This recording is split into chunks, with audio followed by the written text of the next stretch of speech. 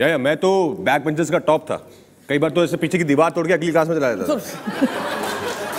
Perfect हो आप perfect तू ही जीतेगा। एक मिनट तू क्या बोल रहा है पार्टनर क्या हुआ सर आज तू ही जीतेगा। हम बैक बेंचर हैं हम झूठ नहीं बोलते। अरे बैक बेंचर ही झूठ बोलते हैं सर अच्छा ऐसा है। आप दोनों का जवाब माशाल्लाह गलत है। क्या सर यार? माशाल्लाह मैंने बोला था इसे कॉपी मत कर। आई थोड़ी इंटेलिजेंट टाइप है टाई वाई पहन के आए हैं ऐसे। सही जा... आप दोनों को हैंडराइटिंग में कोई एक्स्ट्रा मार्क्स मिलते थे? कट जाते थे मेरे तो। क्यों? क्योंकि इतनी गंदी हैंड राइटिंग डॉक्टर क्यों नहीं बन जाता है? कुछ तो करो मुझे रिझाओ कुछ करो। मैंने कहा जी I am getting prepared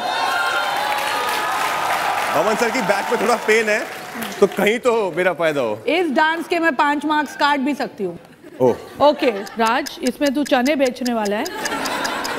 ये मेरा नया टेस्ला नया एक नया प्लेन बना रही है जो मेरे पास आया उसका formula okay I am ready to go sir ही का है? क्रैश प्लेन अरे जूना प्लेन है।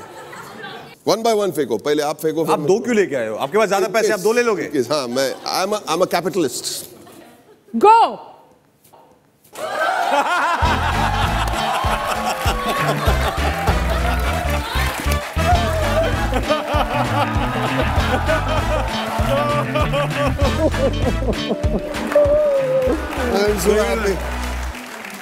मैं हूँ इंडिया का सबसे बड़ा जुगाड़ू। मैंने जो जुगाड़ प्लेन बनाया लेकिन क्या काम किया? आपको कभी लगा है कि आपको हंड्रेड मार्क्स मिले कभी? मुझे तो हंड्रेड में से पाँच भी मिले हैं कई बार।